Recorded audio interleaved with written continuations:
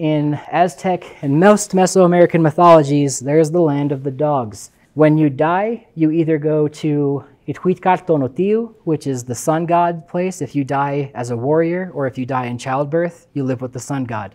I also like that childbirth is considered a form of war for them. That's poetic. You also go to Ithuitclan Tlalocan, which is you go if you drown or get struck by lightning, you live with the moon god. But most people go to Mictlan, which is the land of the dead. And to get to the land of the dead are all of those challenges the Lord of the Dead set forth for Xolotl and Quetzalcoatl. And you have to go through nine of them. The first one, before you get to Mictlan, is La Tierra de los Perros, the land of the dogs, which is also it's Huitlan. It's Huitlan. I, it's on my notes. Anyway, um, it's Huitlan. That's the word. Aztec. Cool. Land of the dogs. There is a river, but only if you loved a dog in your lifetime can you cross the river. Were you kind to dogs? You could go. They would help you. Your dog would likely help you if it was there. Apparently, is the story.